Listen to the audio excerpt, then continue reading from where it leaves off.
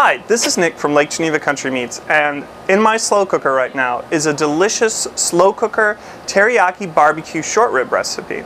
This is very easy to make, and it takes off on the Asian fare that uses short ribs a lot of the time.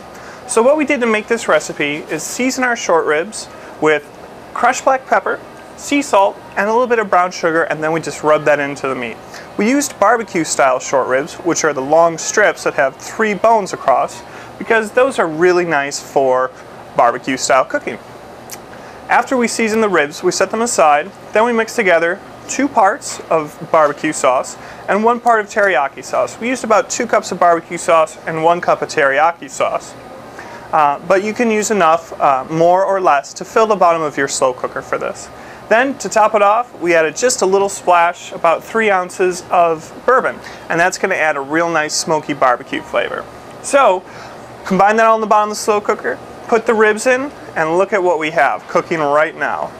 Some beautiful barbecue style uh, short ribs that are going to be great when we are done cooking them in 8 hours. Come back and we'll show you what they look like. It's been 8 hours of cooking. It smells delicious. You can smell the barbecue and the teriyaki. And we're going to serve these short ribs on top of a little bit of rice with some sesame seeds and more of the sauce. And it's going to be delicious. So we're going to show you how we pull them out and put them on the plate. So the ribs have started to fall apart in the slow cooker, which is exactly what we like. We know how tender they are.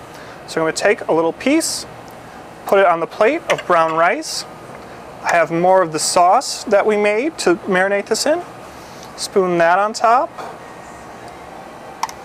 And then garnish with a little bit of sesame seed. This is an easy and delicious recipe you can enjoy at home. It's easy to make in your slow cooker. Takes eight hours, and when you get back from work, it's ready to eat.